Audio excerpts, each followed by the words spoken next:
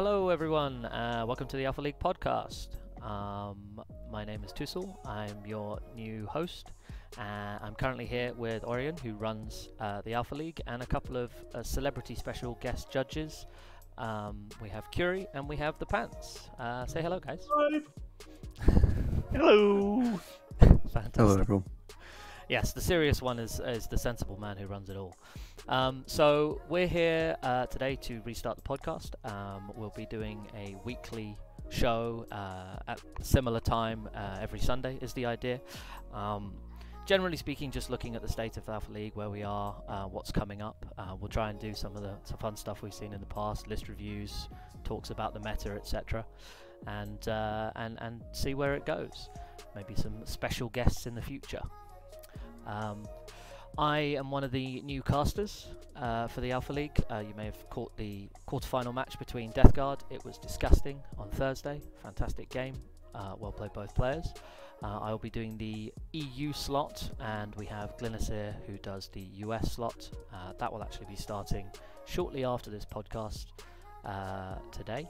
So look out for that. He's also one of the semi finalists. So getting around.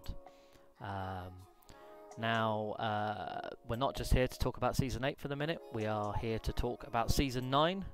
You people who've been paying attention will have just seen a message from the man himself. Uh, Orion, please, if you would just go through that. Yeah, so we have just opened up the uh, signups for season nine. Uh, they're going to be running from today all the way through to Sunday, the fifth of Sun. Yeah, Sunday, the fifth of September at midnight. And from there, it's going to be yeah, it's uh, two weeks. You have you can sign up without a list already thought out, and you just have to get your list finished and ready by the time that the signups close.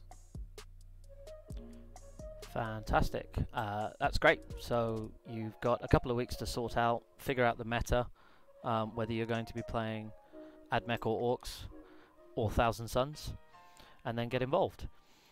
Um, we'll be going through. Uh, signups are closing in two weeks. Yes, exactly, Creeper. We'll be uh, we'll be going through a few more of the details about season nine and what to look forward to uh, in at in a few minutes. Well, uh, half an hour or so. But for the minute, let's talk about season eight. Uh, at the moment, we're in the semi-finals. One of those semi-finals is going on, I believe, as we speak, between Draren and Go Faster. Uh, so let's talk about a little bit about what's happened up till now. We haven't had a chance to check in.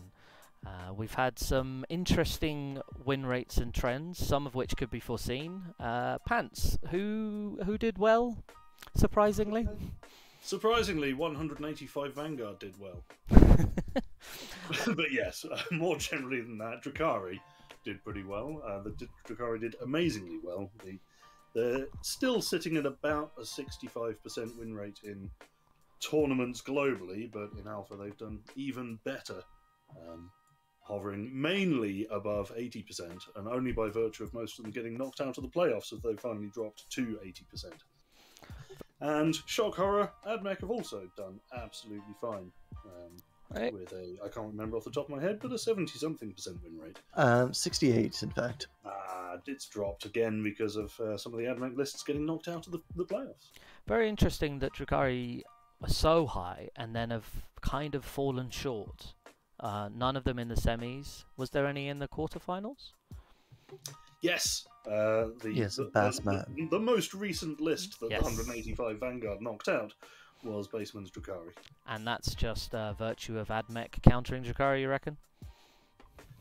It might be of, by virtue of that list countering everything. I can see that you're very uh, positive about it. It's a well balanced army, uh, incredibly well piloted. the name of the list is Skittle Vanguards are bullshit. Well, he's living up to his name. Um, and, and on the other end, we had uh, a quarter final between uh, the one I stre- we streamed on Thursday between two Death Guard who've done surprisingly well. Would you agree? Yeah, I would Guard say are a bit of a um, an alpha staple. Um, Yep. Lots of lo- lots of good Death Guard players in alpha who always um, take them to reasonable success. Yeah, I think they've done a little bit better than we expected with um, the incoming of AdMech in particular, because they do have the tools to deal with Death Guard quite effectively. So seeing them do as well as they have is pretty, I'd say, pretty healthy for the meta as a whole.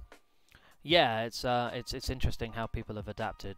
Um, players have adapted to the perceived meta and, and, and managed to get through even in potentially tough matchups, which is which is interesting.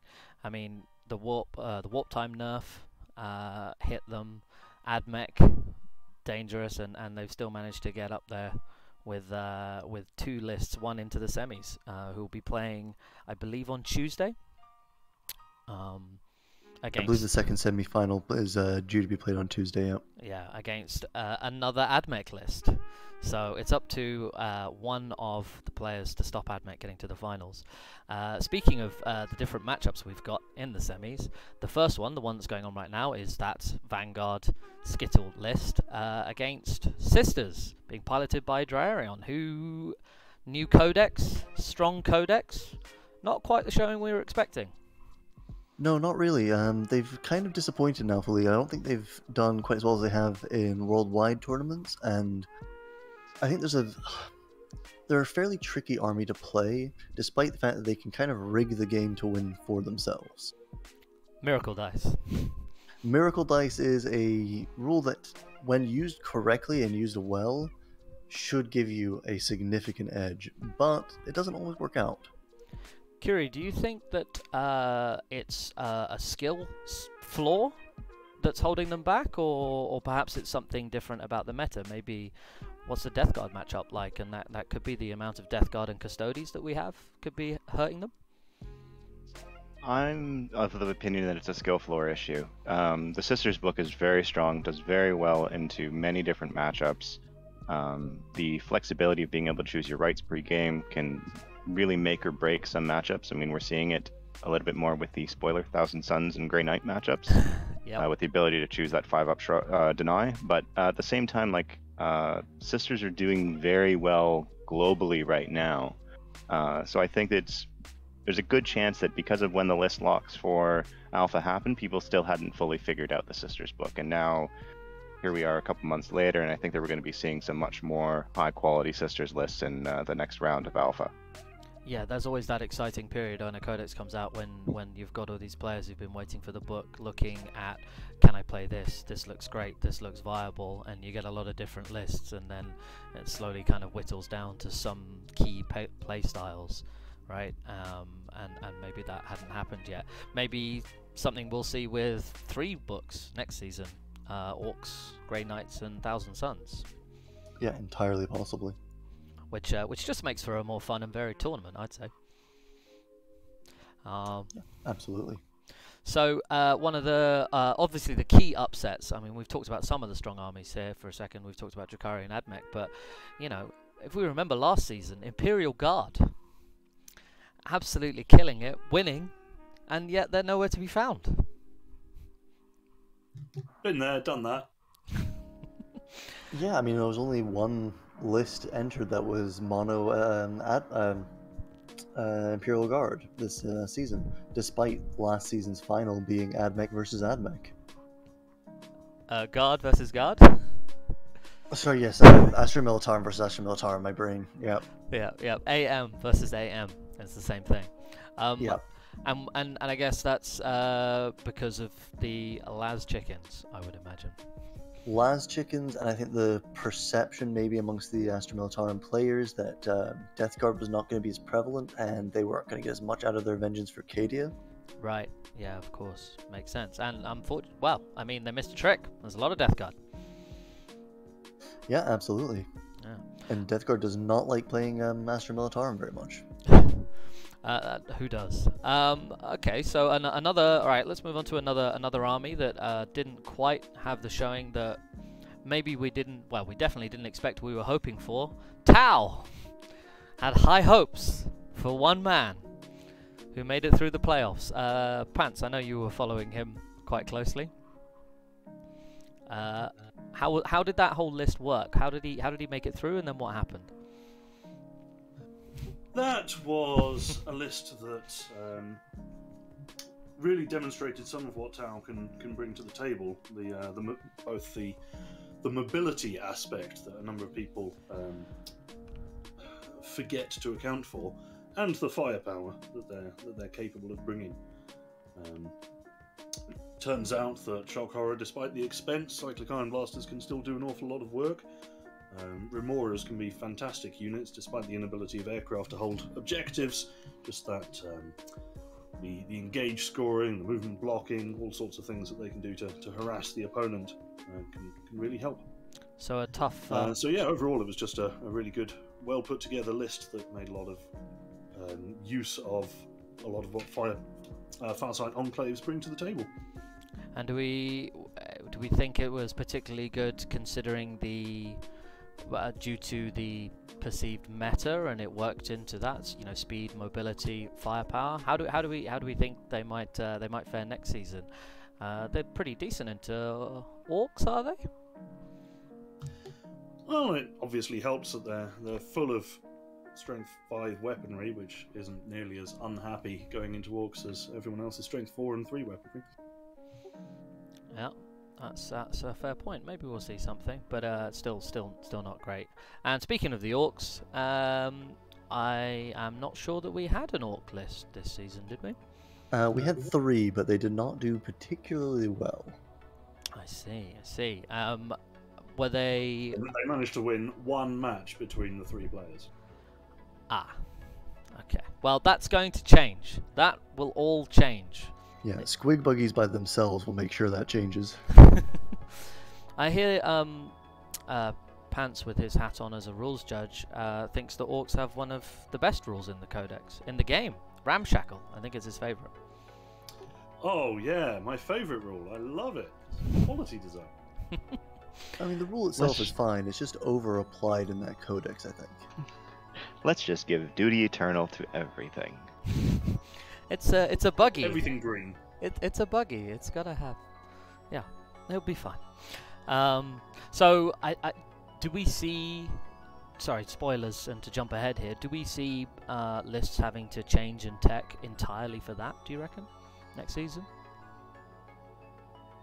Well, as ever, it depends on uh, how concerned you are about facing orcs as an opponent. Um, if you are thinking to yourself, my route to victory will is going to go through orcs, then given that I firmly expect we're going to see some very vehicle-heavy orc lists, I think it would be unwise to ignore that in your list building.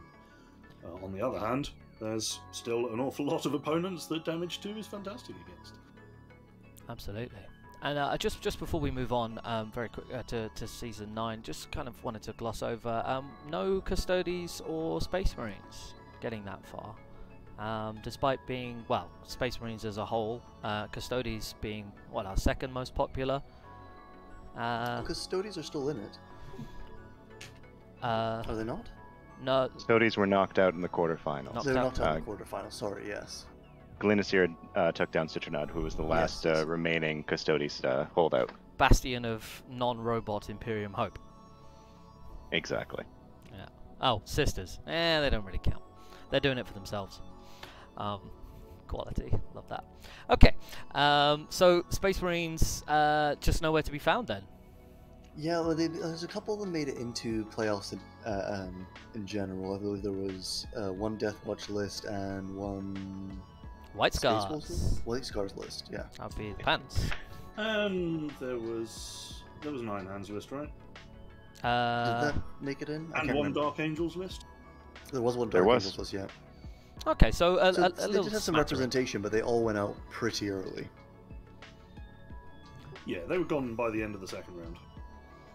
Um, and we think that's just uh, too many tough matchups, different things. Uh, Pants, you were you were piloting a list. Um, went out to Drukhari, I believe. Yeah, indeed. I was piloting a specifically anti-Drukhari list into Drukhari and lost. But uh, in that particular case, that was because I did not play very well and my opponent did. Yeah, also, it's a tough matchup, even if even if you've got an anti list, I imagine. Um, I've I've I've have yet to play against Drukhari in the, all the tournaments since the Codex came out, and every list I've designed being anti Drukhari in some way or form, Caladius tanks everywhere. I have yet to play Drukhari. So The uh, one list that I've designed specifically to beat Drukhari beats Drukhari very well, but loses to almost everything else. yeah, so um, that that's maybe not what you need when you're when you're playing in a tournament. No, unfortunately not. Okay, Speaking of Deathwatch, by the way, I'd just like Go to um, pay a little respect to them for uh, managing a 73% win rate overall, and yet getting only one player into the playoffs, who then lost in the first round. So that was uh, not very representative. Oh god, yeah, that's unfortunate. Maybe some dropping due to points and not going through, you know, a lot of three and ones. Indeed. Yeah, that is unfortunate. Uh, that can happen sometimes. Uh, I know it happened to me. Um, so, all right, let's let's move on and talk about uh, season nine. That's what we're. No, well, uh, just before we do that, let's um, Yep. have a look at the four Do lists of our four semifinalists. yes, absolutely. Sorry, jumping the gun. I see a gun. I jump. Uh, let's do that. Well, there are a lot of guns in these four lists. uh, particularly in the Go Faster one. Uh, let's just switch across here. There we go. So this is the bracket here we've got, and uh, you can see up here at the top you have Dryaran against Go Faster. That would be the sisters against the uh, Skittle Horde. So let's let's have a look at their list, shall we? So first thing, Dryaran's list. Uh, he's cleverly named it Sisters so you won't forget uh, what it is. Um, and a quick question here from the longest name I've ever seen in chat. Heitor Henrique Velasco. What do you hosts think about new orcs countering Skittle spam? Do they? Um, I don't think they really do. I mean, Dakka Jets kind of do okay into them, but I mean, unless you're bringing like six Dakka Jets, which is going to be like what half your army, Yeah, the rate of fire to get through the the Skittles can work, but and and you're still going to be losing two or three Jack Dakka Jets a turn most likely, at least. Yeah, and uh, you're not getting the benefit of the ramshackle if you're going for a vehicle heavy list because of the damage one that they're shooting at you with uh, 80 shots or what have you, or is it? It's 60 shots. Yeah. 60 shots now from a buffed Like- up ranger squad. Yeah. May- Maybe there's some play there, but there's not an obvious counter that I'm seeing. Yep. Yep. And if you are vehicle heavy, there's obviously chickens. But anyway, on to the sisters list. Yes. Uh, one- one thing I will say is that while I don't really expect to see horde orc lists, it is worth noting that the shtick of Go Faster's list is an awful lot of strength four radium carbines, and um, orcs don't care. Yeah, yeah, absolutely. So, uh, so it could be, could be interesting. All right, yes, we're um, staying with the list. So this is uh, Dryaron Sisters list. Uh, first, we have a patrol, uh, Sisters Patrol. It's Order of the Ebon Chalice, uh, headed up by a Canoness and Morvenn Vahl herself. Um, the Canoness has a Brazier of Holy Fire and the relic Annunciation of the Creed and the warlord trait terrible knowledge. knowledge. She knows something terrible. That's unfortunate for her. Terrible for the opponent. It's a six. It's a six. Um, so the Ebon Chalice is the CP regeneration, or not regeneration. CP. You start the game with a six. Uh, miracle dice. Is that right? That, that's what terrible knowledge is. Yes, it Yeah. says the first miracle dice you get in the game, which you get at the start of the first battle round, is a six. Which is just incredibly useful. You can save it. You get that three. You've got a nine-inch charge. You get anything above a three.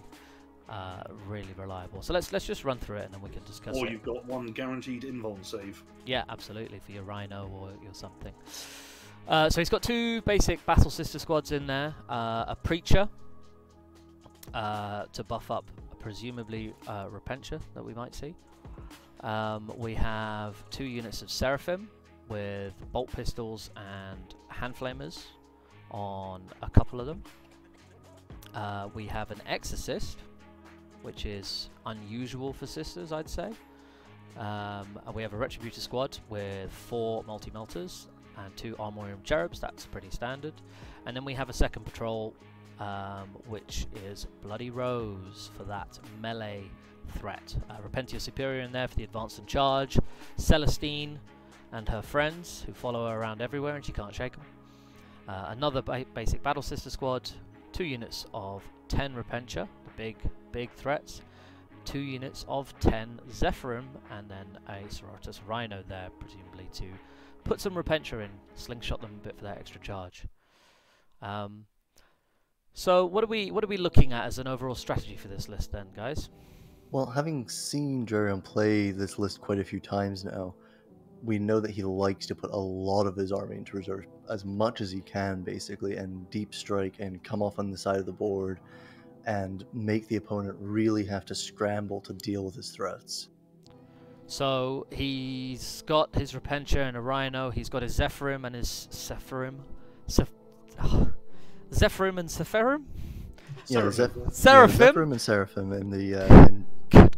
In deep strike reserves. Sometimes he start uh, he started the Seraphim on the board a couple of times, like one squad of them. So that I that's uh, that's interesting. Um, obviously, with the six early on, as I said, you roll that three on a miracle dice on the start of the battle round, or you shoot something, then you get that three, and you've got a nine-inch charge for one of these big squads coming down, and and they do a lot in melee. These Zephyrim, um, I have seen them charge into uh, White Scars Blade veterans and tear them to pieces. Um, there's uh, th- he normally takes the conviction um, for the extra AP on sixes, I believe. Exploding sixes and. Exploding sixes. The, and melee, the that's extra the AP is in shooting. The extra AP is in the shooting, yeah. And uh, uh, there's a stratagem for mortal wounds. Um, when you're fighting in combat on four ups. Um, uh, yes, I believe so. Yeah. and yes, it's an artifact brazier. Um, she's very uh, dangerous. Don't try and Copperfield. Um, consent is very important. Um, why do we think he's got the immolator in there? That's uh, that's the key thing I'm looking at. Wait, he has an immolator? Not I immolator, the Exorcist. exorcist. The Exorcist. Do apologise. Um, one of the reasons is to fit nicely into playing to the last. Um, the Exorcist can usually hide pretty well, making use of the strat to fire its main, die we- main weapon without requiring line of sight. Um, Which and as one of the three most expensive units, hopefully that can be a, a reasonably easy five points. Yeah, that on top of uh, Celestine and More than Uh, that. more than Val. all of which are quite difficult to get rid of. Absolutely, and then uh, Celestine stands back up. But the uh, the other interesting thing, I guess, about this list, is Celestine usually stands back up. Usually. he hasn't had the best of luck with that. um, still managing to get by somehow. But uh, uh, yeah, that that can be unfortunate. Rolling, not rolling a two up, is is a bad feeling. Um, Well, one in six times. it's true. Um, the other thing that's interesting, particularly with the, the, the big characters, um, Morvenn, Vahl, and Celestine, that, that that's lacking in this list is the Sacrosancts. Um, uh, I've, I, from what I understand, you quite often see um, these characters standing out on objectives, protected by the bodyguard rule, so you can't interact with them. You certainly don't want to get anywhere close.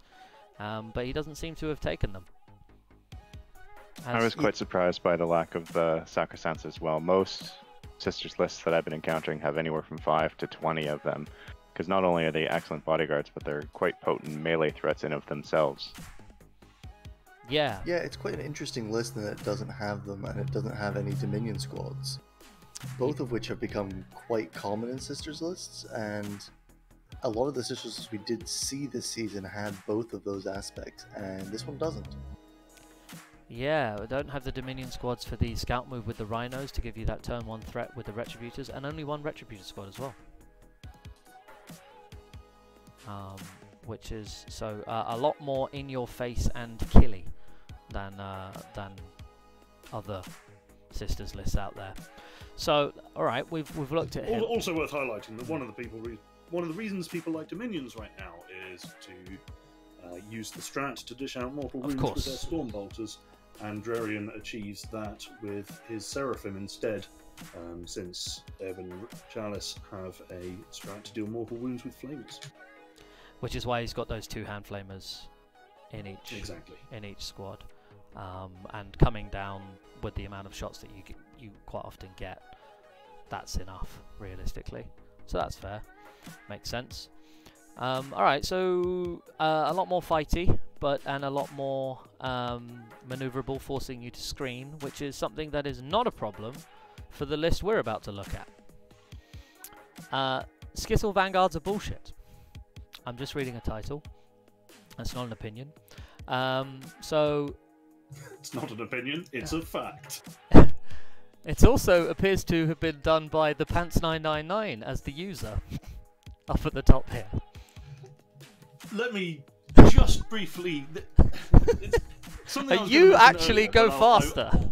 No, no, no. I, will- I will explain that. Something I just want to highlight slightly early, I'm ready for season nine, is a brief reminder of a little bit in the um, primer where it now says, please do not. If, if you have a Pastebin account which allows you to edit pastes, please do not edit pastes containing um, army lists.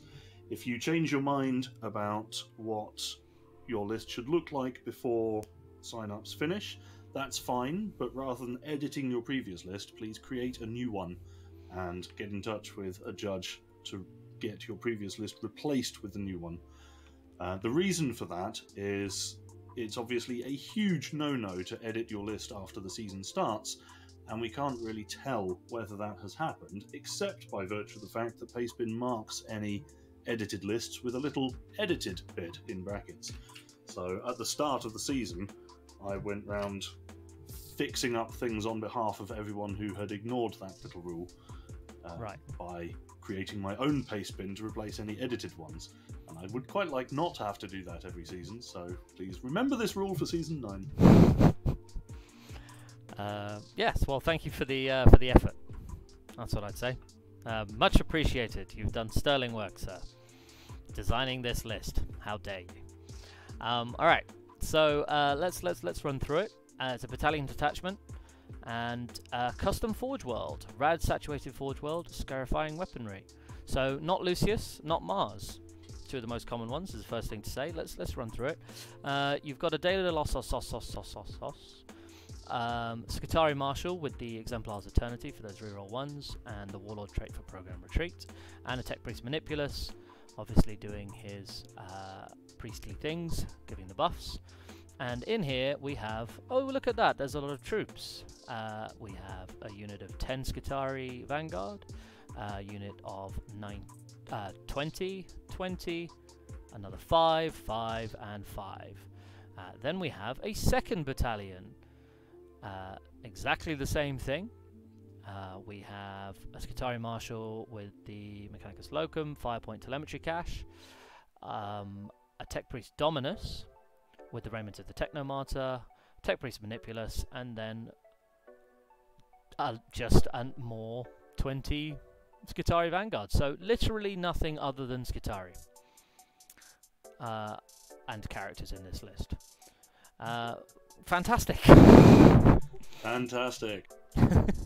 so, what's the uh, what's the Forge World choice? Tell me about that. That's a custom Forge World. Uh, I believe that messes with the strength of people, t- strength and toughness. So it gives um, an extra the the scarifying weaponry bit, which is what I think what it is supposed to be, rather than scarifying. Although it certainly does make things significantly more scary.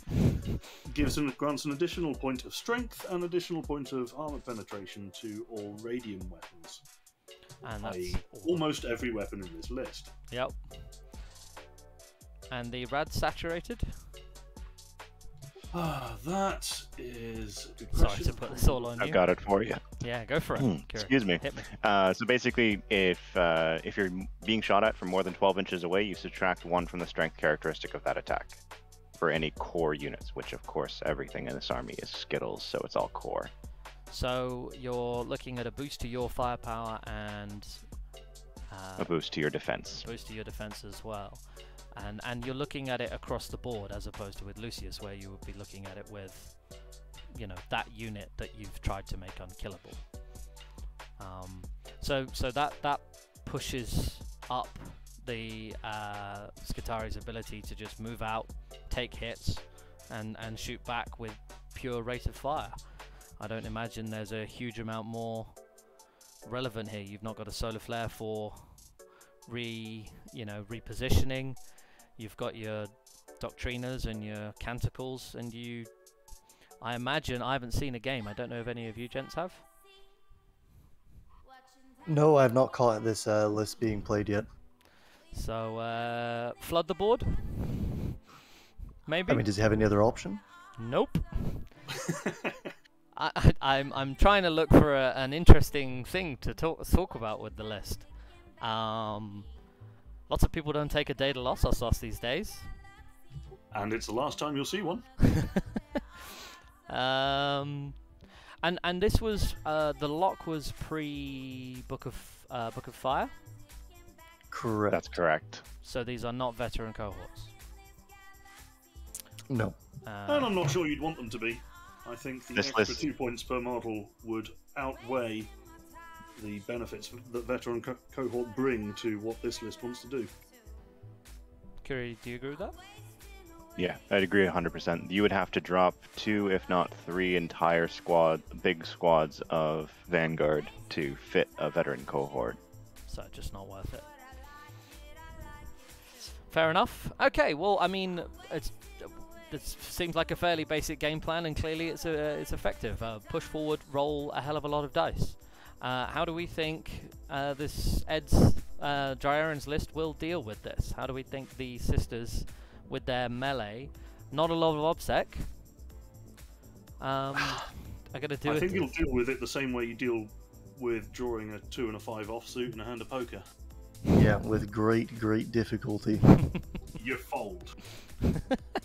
There's just there's not enough killing power in almost any list that you're gonna see to deal with this many skittles. Yeah.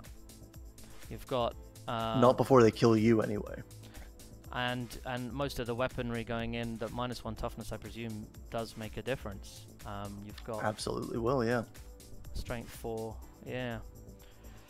Okay, well, uh, let's not dwell on it for um, all time. Uh, I'm just going to ask you guys to make a prediction here, um, just so everyone knows. Uh, who are we expecting to advance to the finals?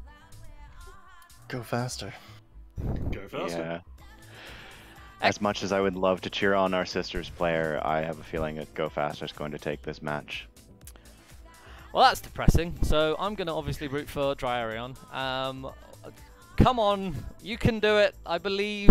Faith in the Emperor, and um, goodwill to all men. Yep, it's definitely going to happen.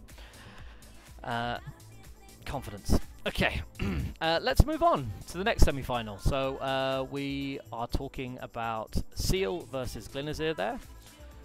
Obviously, I'm going to have to be rooting for Glinazir as a fellow uh, streamer, caster man. He must be a sterling chap. But uh, let's look at C- um, Seal's list first. It's a Death Guard list. You saw it in action on Thursday. You're looking at a battalion detachment, the Inexorable. Uh, you got a Tallyman for that sweet CP. Uh, Demon Prince uh, with the Talons and Plague Skull of Glothila for those uh, mortal wounds that he can fling at people, and a malig- Malignant Plague Caster, Miasma and Putrescent Vitality there. You got two units of Death Guard Cultists, 10 mans, and two Poxwalker, 20 mans for that OBSEC. The Volkite Contemptor for those mortal wounds and long range shooting. Two Death Shroud Terminators, a Foul Blightspawn. Um, that's the Fight Last. Two Fetid Bloat Drones, and then three Plague Burst Crawlers. Uh, now, having seen that the other day, I can say that normally he likes to take the Plague Burst Crawlers and use them as to the last, park them at the back, push forward. The Volkite's another threat, and he'll shoot at you as you come to him, with the Bloat Drones pushing forward to threaten you in melee. Uh, played against it myself. Um, is there anything in particular to mention into an AdMech list that he's facing that he might have taken as a tech? Do you think, Orion or Pants? Um, Tough I mean, there's some interesting things he can do, but I think he's done, he's going to be very limited on options depending on which map and mission they roll. Hmm. If he's if there's one where he has to spread out, he's going to struggle um, holding those points with the fairly limited obsec he has because those cultists need to stay back and hold those backline objectives, which means he really only has two squads of 20 Poxwalkers to go forward. And uh, we're expecting uh, a lot of shots coming out of the AdMech player. Yeah, we're even not seeing the list yet. It's AdMech, you know there's going to be a lot of shooting. Well, why And unfortunately, AdMech kind of has the answers that Death Guard poses the question to: is do you have enough one damage shooting, or you know four or above damage shooting? AdMech has plenty of both. yeah, absolutely. Well, why don't we quickly uh, go through The com- list? I'll, Oh, I'll just sorry, highlight the Yeah. combination of a uh, Volkite Contemptor in this list plus Ferric Blight is um, is potent against Oh, it's that. very strong. Yeah, absolutely. There's as about as good as a Death Guard list as you're going to really see these days. I think. And how does that how does that interaction work, Pants? So Ferric Blight's Warlord trait is so long as you're in contagion range of this Warlord, uh, any ranged attacks or actually any attacks that are made that you receive uh, have an additional AP on them. Right. So you either run up and get your Warlord within range, or you pop, or you run up uh, another unit and pop. Uh, Flash contagion, thank flash you, outbreak. Flash outbreak, uh, which then spreads the conta- all the contagions on the battlefield through that unit. Uh, Ah. And then you get within range, you shoot your Contemptor, and your Contemptor is now minus one AP. and then effectively also plus one strength because they will all be minus one toughness. What Correct. about if the opposing unit are all wearing masks and have been double vaccinated? Uh, no luck. Ah, worth a try. Um, Nurgle cares not. Papa's not bothered. Um, that's a good. That's a good combo. That's that's one better than the uh, the new Thousand Suns uh, minus one AP Volkite. If you get the minus one strength as well. And notably, those uh, bloat drones were a very popular target for Flash Outbreak. Of course, with their Yeah. hugely move huge move forward, right? Yeah, the one thing I would maybe have liked to see in this list is a greater blight drone, just for that additional four inches of movement for specifically for flash outbreaking. Just to give you a bit more options from the back. Yeah. Fair. Yeah.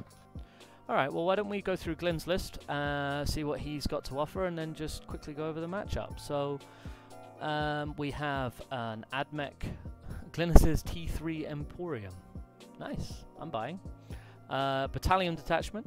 Uh, you're looking at Lucius, Skitarii Marshal with the exe- uh, Exemplar's Eternity, as you'd expect, a program retreat. There's the Manipulus, and a second Manipulus with the Solar Flare.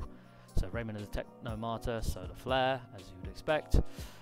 You have four units of Skitarii, two rangers, two alphas. Uh, one of those rangers is cheaper. Uh, Uh, one only has uh, 18 models. 18 models, yeah. Oh no, sorry. Two, one of them has um, sorry, one of them has two arc rifles. The other doesn't. That's sorry. where it is. I was gonna say there's there's the same models, but yeah. th- so those are the long range heavy weapons, snipers. Um, I'm guessing maybe just extra points. Um, and then you've got three, four units of Sicarians. You've got three infiltrators and uh, uh, five mans and a big unit of Sicarian rust stalkers. And then in the fast attack, uh, that is a one big unit of five Iron Strider Ballistarius. You got some Sterylizors and some Serberys Raiders. Eight of them, in fact. Interesting. Okay, so it looks like he's obviously got his Skitarii, as, as you would expect from a, a, a Lucius Admech list, but then he's also gone heavily into the Infiltrators and Rust Stalkers. Uh, infiltrators do their forward deploy, Yes, they forward deploy. and they Uh, very good at movement blocking in particular. and They've got big bases. so they can forward deploy, and if you get first turn, you box your opponent into their deployment zone, and they can't come out and get you. Exactly. And once you've done that, they can be annoying to remove because of their rule that switches off rerolls against them within 12 inches. Ah, interesting. But they are T3. They are Uh, T3. T3, but two wounds. Two wounds, four up armor, five up invuln. So with the contagion from the Death Guard, they'd be going down to T2. if they were They would be. engaged in combat. So even even your poxwalkers might be slapping them in the face until they die fairly swiftly. Um, so that's something to be aware of. And then you've got the big unit of uh, rust stalkers. Uh, I don't know if uh, you guys have watched any of Glenn's games, but I know you can pick them up and put them down if they're near a board edge. Is he does he normally use them for backward screening until that happens, or does he push them forward?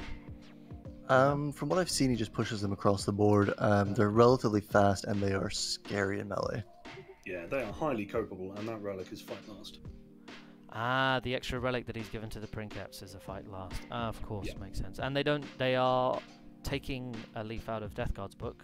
They don't take a penalty for ground, I believe, if I remember correctly. That's Correct. right. They inexorably advance. So uh, they'll be they'll be flinging themselves at your face, and so and and you've also got the big unit of Serberys Raiders as well. So it seems like there's a lot of push forward, take over the board, box you in, Skittles follow, get on the points, and shoot you to death while you're dealing with all of the other stuff. Yeah, whilst you're also being subjected by to 10 Lascannon shots around. And do you think he's gone for the one big unit because it's easier to put single buffs on if required, um, as Yeah, opposed to absolutely. Yeah, okay. Although that can cause a problem uh, as opposed to having a couple of smaller units because you can't really split your fire knowing what you've shot or not. Um, and I imagine the Pteraxii are in there uh, for just actions. Yeah, I would expect those. I mean, I would expect those to pretty much purely be action monkeys. And they- Action monkeys engage any of the just to score you and secure you some points because they're they are the lowest threat in this list, so they're going to be ignored. Yeah. Also, a reminder that Season 8 is still pre-FAC AdMech, so Pteraxii can do stupid things. I was just about to mention that. You can put them down and then pick them up. Uh, no, we actually ruled um, day. Oh, was it? I think that FAQ dropped the day of um, the season start, and we put that in. Yeah, so you They can't do really stupid things with the Pteraxii. Yeah, Um, You're we- right. I was yeah. thinking of the more recent Ah, right. FAC I mixing the two up. Yeah, we we specifically disallowed that because that was a rather game breaking. What you can do is put a stupid number of buffs on those Ballistarii and make them extremely difficult to remove. Yes, uh, which you cannot do anymore. Yep, and it's also a final outing of brokenness for the Rangers and the Vanguards with the enriched rounds and I can't remember the the, the, the Ranger strat, but Galvanic Galvanic Volley Volley. Fire. Volley. Galvanic Volley Fire, yes, they still work in their pre-nerfed form. Yeah, it's going to be interesting to see how things change. I don't imagine it'll be a huge amount. Um, although that Exemplar's Eternity and the Iron Striders might be a bit less prevalent.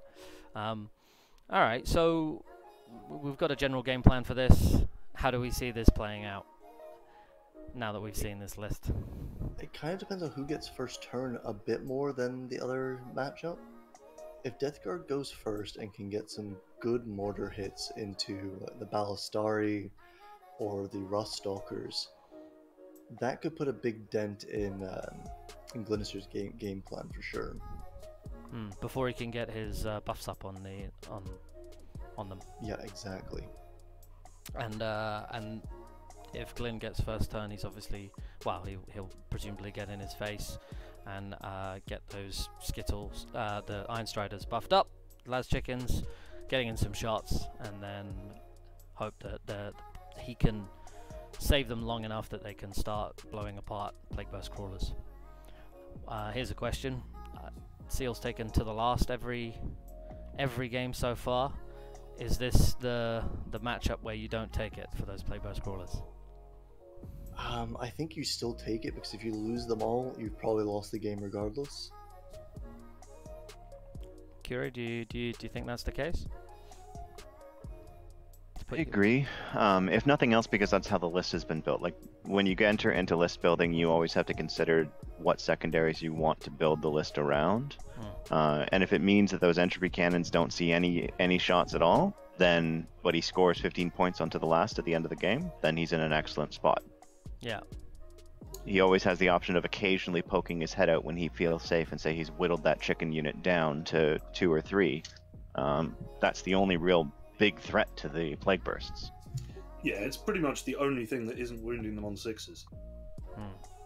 And and the other thing that I've seen him do every game is use start those Death Shroud up um, in Deep Strike and bring them down. Normally for uh, Rod, Retrieve Octarius data, and then because they can reliably Rod, they're very hard to kill, and suddenly you've got Death Shroud Terminators on your backfield.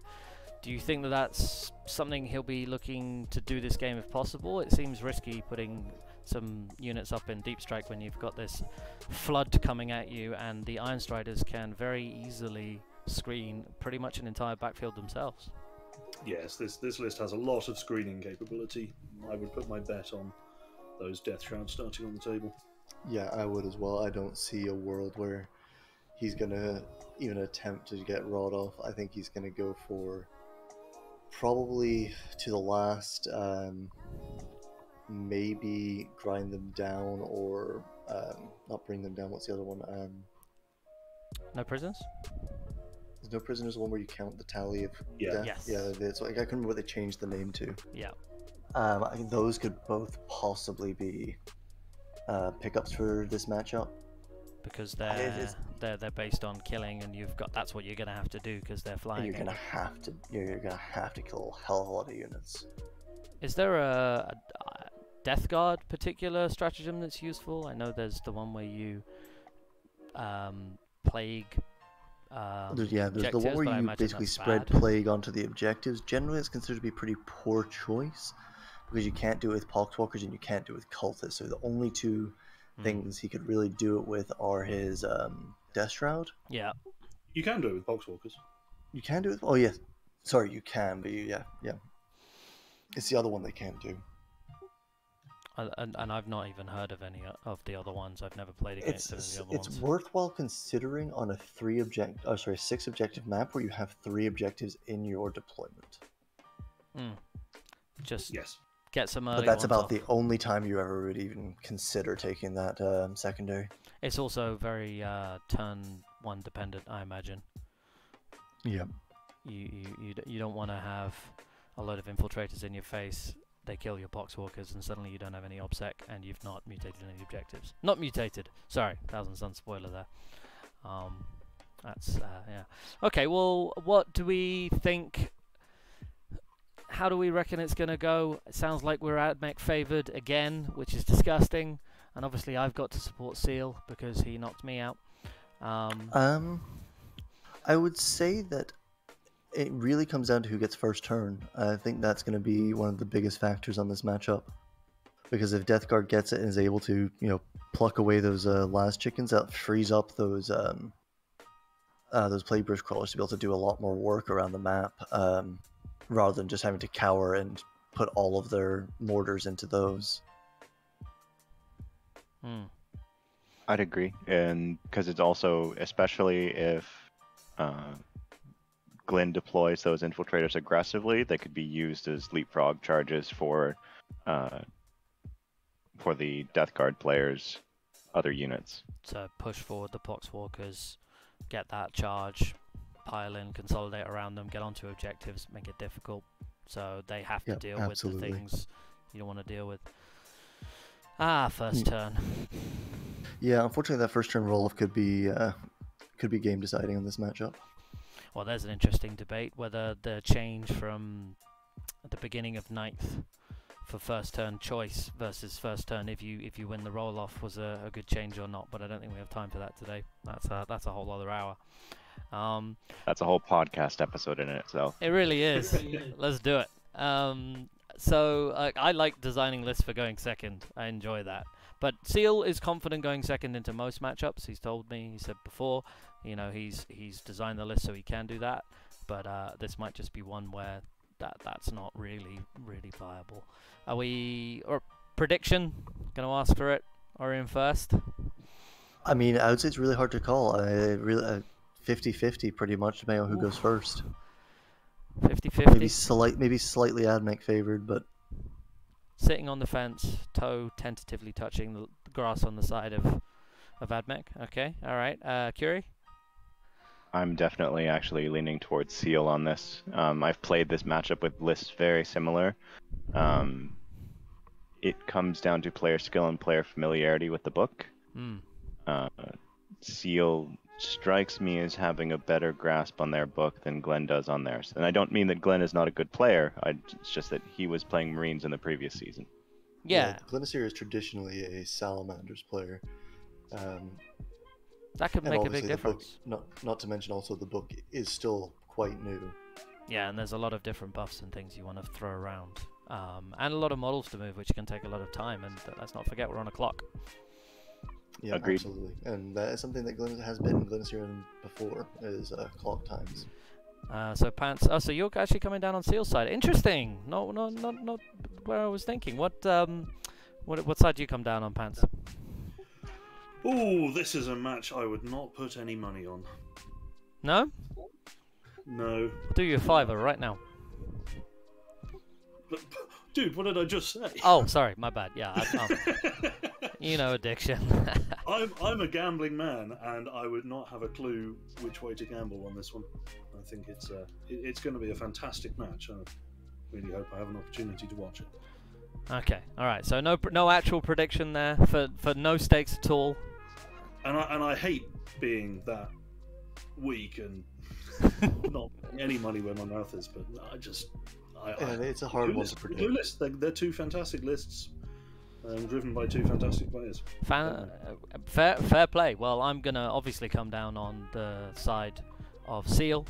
Uh, he, he, as I say, I've, I've played him. He knocked me out. He's fantastic. I have to support him. If he wins, I look a lot better. So uh, I will be supporting Seal, and I think we're going to have a Death Guard Sisters final. No Admech. What a beautiful thing, ladies and gentlemen. It's very exciting. Um, okay, cool. Well, it'll be it'll be interesting to see what happens. We will know later tonight uh, at least one of those players. So um, yeah, and hopefully we'll have a great final, which I'm sure we will. All right, uh, moving on. Let's talk about season nine. Uh, that's what a lot of us are waiting for and looking forward to. Big changes. Um, Orion, if you could lead on that, seeing as you're the main alpha man. Yeah, absolutely. So um, one of the big changes is we're actually changing the format up a little bit. We're not breaking from you know the pod structure into playoffs, though we have done a little our little experiment this uh, season with pushing the playoffs to be considerably faster, and that appears to have gone quite well. So we will be sticking with that. Um, but we will be swapping the format out from being a seeded pod system to being a basically essentially a random pod system. So we're going to go up to 160 players, um, and every pod will be randomized. And on top of that, only one player from each pod will be going through into uh, playoffs rather than having the top two, uh, sorry, the top four play uh, pods having two players go through. Yeah. Um, we have some fairly big rules changes coming up as well. Um, some of which are still in discussion in the, the, the other one, and some of it is based on the, our terrain. Um, Yeah, do you want to talk about that? Um, we've got some uh, exciting new terrain changes and map changes. Yes, because we have a full new map pack for this season. Uh, we've been using the same one for the last two seasons, and it, whilst it served us well, we have learned its flaws, and not to mention, you know, you, you need to change it once in a while. Absolutely. Um, so if we go and have a look at that, we can kind of go through some of the, the map changes in particular. Across, here we go. We have a fantastically scaled image here. Thank you, Streamlabs. Um, and this is one of the new maps, as you can see. Yeah, this is one of the new maps, which is um, a little bit squinty eyed. but what we can see is um, if you look at the terrain, the ruins with windows now have ledges on the outside of them. Um, and one of the big uh, reasons we've implemented this is that ruins that you are not physically standing on with your base will no longer grant you the benefits of the uh, of that terrain. You will no longer be counted as being within with on on top of or within that terrain. So, for example, um, the Terminator here, looking at the Space Marine veteran, cannot see him as is you know normal for you know not being able to see through obscuring terrain. Yep. Because neither of them are touching it, and it's in between them. This one, he is not quite touching the wall, but he is standing on that edge, before he would have to be right up against that wall to be able to see through, or be you know in the doorway there. Now all he has to do is be touching the very edge of that lip to be able to see through. So right now he can see this um, Vanguard veteran. And the third point is that this one, this uh, Vanguard veteran over here, in previous seasons, he would be gaining all the benefits of this um, terrain's uh, features. So he'd be gaining light cover, he would be gaining defensible. Um, whereas at the moment, now because there's no lip underneath him for him to stand on, he cannot gain the benefits of that cover. Yeah, and um, Curie, uh, this is due to the uh, rule debate on what on or within meant, I believe, from the start when gaining the benefits of cover in ruins. That is exactly what it is. Uh, this is something that every community has interpreted differently. We have played one way in the past. We are going to be changing up in how it's played now going forward, but it also makes it much more clear. Um, you have to be on terrain to be within it, not touching it. Yeah. Just to improve precision, this has never been something that's actually been a matter of interpretation of the rules. The rules themselves are very clear. Sadly, the rules simply fail to answer this point because the rules simply say the players involved need to agree what the boundaries of the terrain feature are. Yes. And if you are within the boundaries, you are within the terrain. Uh, and we have always simply defined the, our own boundaries of our ruins to extend to slightly beyond the physical models, and we are no longer doing that. And this now gives you the visual cue, makes it a lot easier all round. Yeah, absolutely. And I'm also going to quickly load up a different map Sure. um, because we have also um, one other slight change. Uh, I should also note all these uh, maps were made by Marius Evander, uh, one of the community for Alpha season, well, Alpha in general. He's been around for a long time. Great guy. I Played him last season. Oh, Tyrannus. yep, I, I, I've managed to completely screw this up, but because now we have both terrains on here. I oh my god! Now this is a great level of terrain. We should do this. And then, Uh, no, this is this is truly cursed. and then the squig buggies can stand wherever they want and shoot whatever they want. Yeah, this is this is truly. Oh, thank you, Curry. Uh, let, let me load that back up again. Um,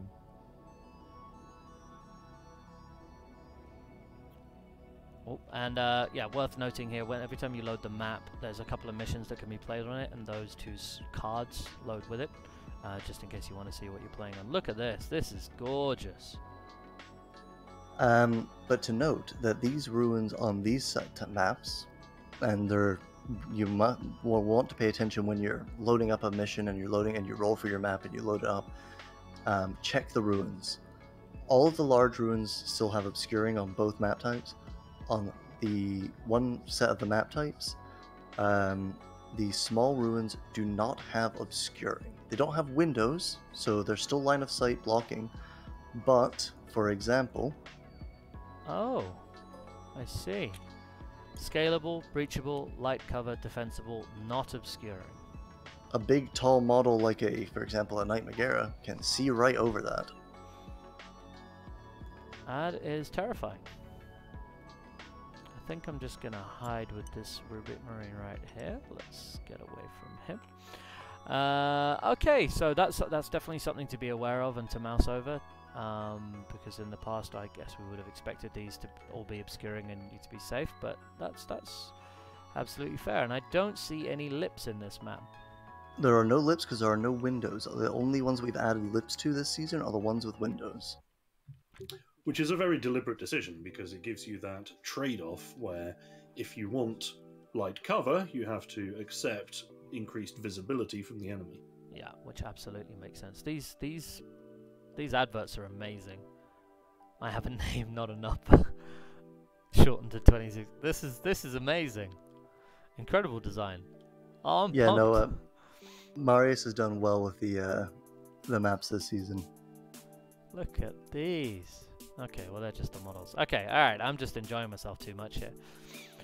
Um, yeah, he's done an incredible job. This is this is very exciting. Hey, the, the the previous load of maps were great and looked fantastic, but I'm I'm I'm not even going to play these until the next season, just so that every time I load one up, it's going to be a nice surprise. That's what I'm. That's my plan at least. Uh, is that a fantastic tactical decision? Maybe not. Also, Probably not. Like getting to know the maps you're going to be playing on is usually quite a good decision. It'll be fine. Also, hi Marius. Well done, buddy. These are this is some of your finest work, second only to that token you made me that I can use as a banner, which is just a, a coin with the, the eagle on it. Um, but is clearly the best thing you've ever done. Um, that's amazing. Thanks so much for the work. Okay, uh, so any further changes we should be talking about here? We've got to look out for the, the lips on the ruins, obstacles, or, well, ruins but not being obscuring, um, and the windows. Anything else we need to be aware of with this new map set? Um, no, that largely covers it, I believe. Something I'll highlight is um, a an increase in prevalence of terrain that uses the same rules as the vents we used to have. Um, Oh, yes, let me load one of those maps up. Uh, let me just Dense and light. terrain. where the, the, the notable thing about them is that they um, are often considered to be Wow. So, yeah, the um, distorted realities here on this map, I have the same rule as the oil spills and the vents that we're using. Um, basically, they're area terrains um, that have dense cover and difficult ground. Some of them have light cover or heavy cover. These ones don't have either of those in this particular map, Okay. but they they do vary. So again, always make sure you're checking your terrain types when you start to play. Yeah, which is just good good advice in general. Um, So you, you may re- recall that um, dense cover has to be a certain height to work. hmm, Difficult ground has to be below a certain height in order not to affect um, Titanic units. hmm. Uh, but we um, have a bunch of terrain that's considered to be tall enough to count for dense, while simultaneously being not tall enough to impede Titanic units as difficult. Right. Well, that's what happens when you distort reality, really. Now, the ruins on this map are indeed obscuring. Yeah, the ruins are. Hey, hey, Uzi. Uh, the ruins are obscuring here. Um, these ones, uh, but and they've got the lip. So if you're standing, you gain on the outside, you gain the benefit of cover, or if you. Um, so that's fine. You don't have those, and then these are all obscuring as well. Love the colors. Uh, also, thanks for the follow, Tectonic. Welcome. Hope to see Yeah, there's very there's there are uh, shooting lines from spawn to spawn, but they are very narrow. Yeah, it's uh, it's a good lo- it's a good amount of cover. I, I like to think that this is a Russian doll type effect. Uh, just r- reality is all over the place here. This big ruin here just gave birth to this one, and then there's a smaller one off here that we can't see. Just a little baby barricade or something. Which, if you just made it a bigger, if this was an Armageddon map, that's what happened, it would just go all the way. Um, no, and, and again, the visuals on this are just amazing. I'm a little bit scared by this bit. As a, as just that's definitely a mouth. That's all I'm saying. Don't position your units there; they'll get eaten. Yeah, I mean, I think if you're playing Slaaneshi Demons, you're probably going to have an advantage on this map. Yeah, clearly you're gonna roll like an absolute legend. Um, amazing. All right. Well, uh, thanks again, Marius. Um, you've done an absolutely sterling job. These are all absolutely fantastic. Um, can't wait to, to, to play on them. Uh, speaking of, when will I be able to play on them, Orion? Well, you can play on them right now for your practice games. There is a link to them in the Alpha Announcements channel. Um, and you'll be officially playing on them, assuming you sign up for the tournament, as of the 5th of September. Or as of the 6th of September, I suppose, yeah, because the signups end at the end of the 5th of November, of September. So how can how can we sign up? You've uh, posted an announcement.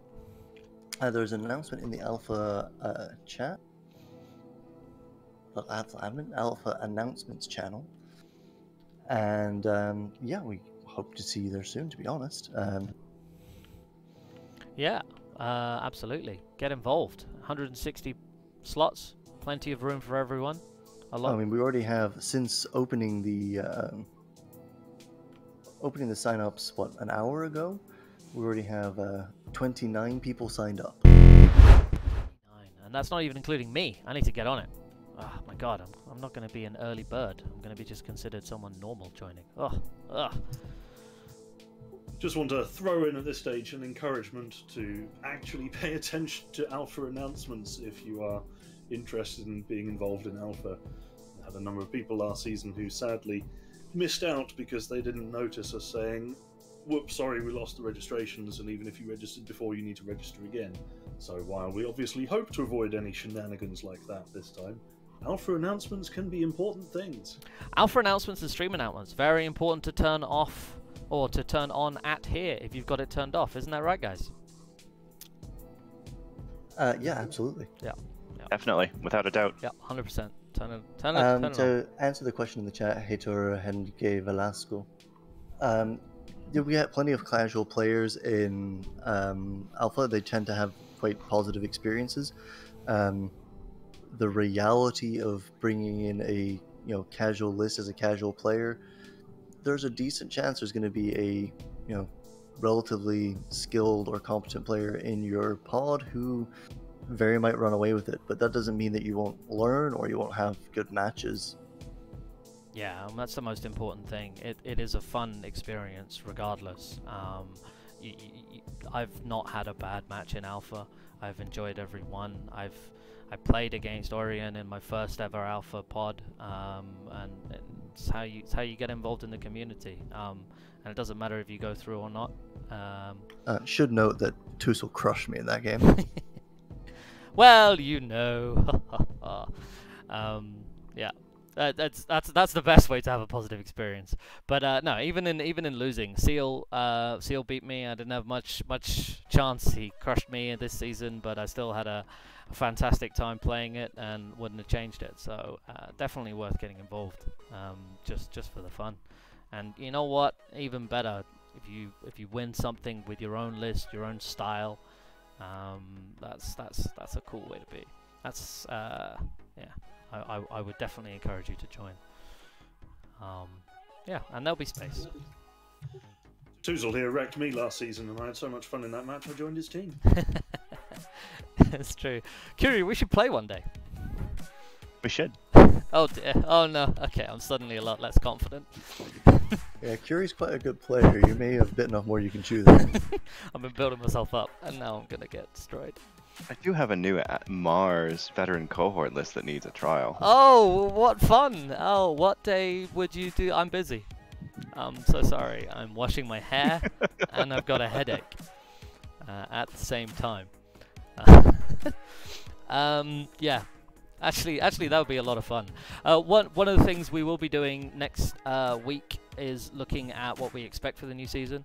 Uh, we will be including the three new books and the Book of Fire. Yep. Yep, all of those will be um, live, including the Orks book. There was some debate just because a bit complicated with Orks because they're not technically out, but they are out. But uh, Um, better to play. so with no no FAQs are likely forthcoming for some of the slightly more um, spicy elements of the Ork book. But uh, we're gonna run them anyway, see what the damage is, and hope that there's uh, FAQs for them by the time season ten is coming around. Very important to have FAQs. I mean, look at the Book of Fire FAQ. That's oof. Oh yeah, that, that did a lot of damage right there. That's a good one. Rest in peace, Be'lakor and friends. Oh yeah, wow.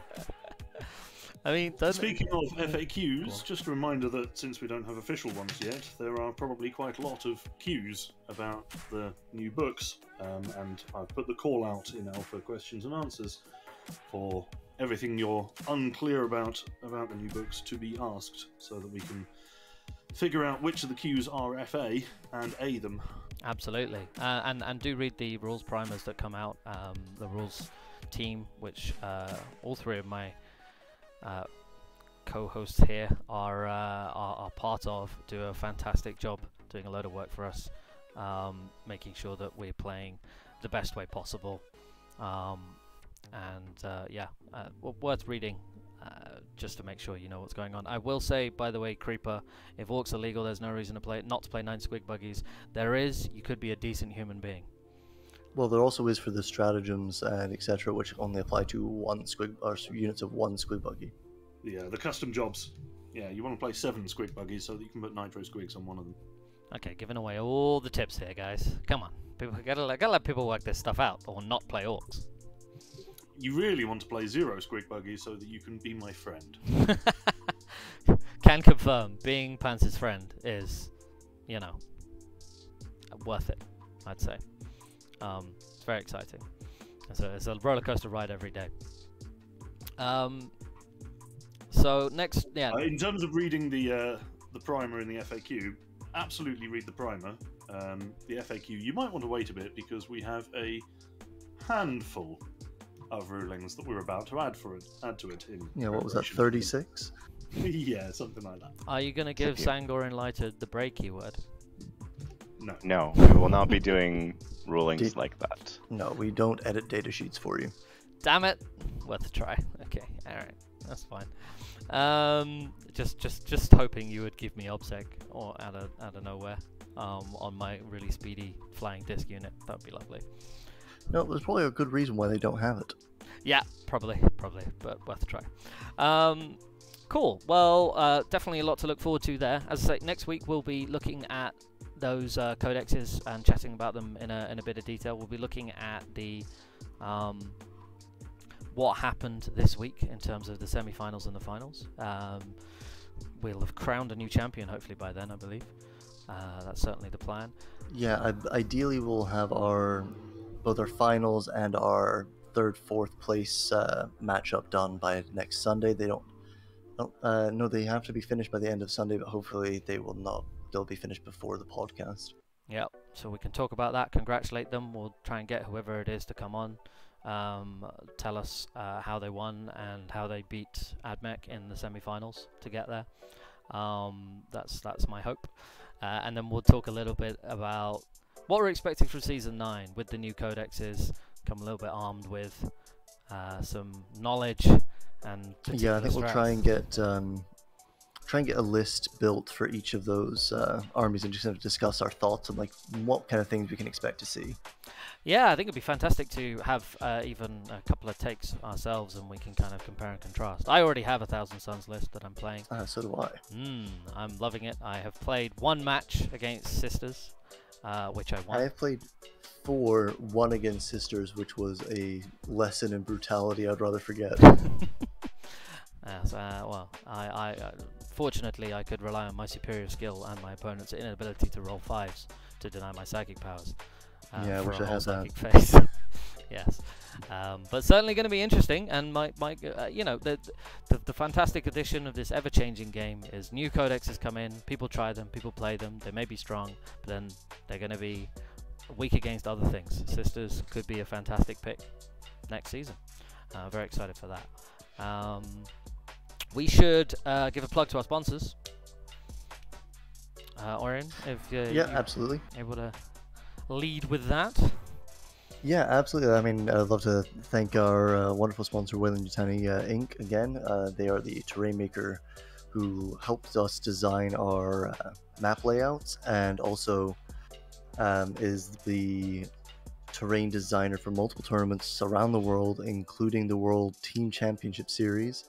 And they produce some fantastic terrain that you can get at their website, waylandyutani.com, or you can Google Weyland Yutani Terrain. Yeah, fantastic. Thanks, guys. Uh, incredibly helpful, letting us build the channel, this community that everyone gets involved in, and uh, and and push forward, making uh, making it bigger and better and stronger. Um, I think I think we've covered uh, most of what we wanted to talk about, right? Um, Yeah, if there's any questions from the chat before we Yeah. uh, head into our outro, that'd be great. Absolutely. Any any any particularly niggly rules questions for Panzer Curie? Any um, questions about fluff for myself, I can tell you the greatest warrior in the Imperium is Trajann Valoris. He he may not have the stats, but that's just coming. I can't wait. He's going to get a sweet profile and the best spear ever. All right, Dizzle. Mm? Why is belly button fluff always blue? Ah, well, actually, I can answer that. Um, it's an illusion. That's all I got. That's yeah. That's, I, don't- I don't. Nicely done.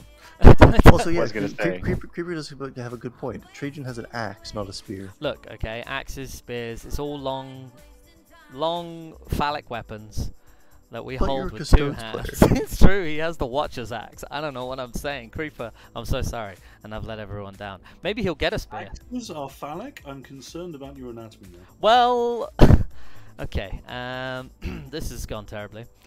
Uh, it's not me. It's Well, Pants, there's a question for you in the chat. there are dozens of I us. don't like. no. See, I love squigs. I hate squig buggies. That's the thing. Squig riders.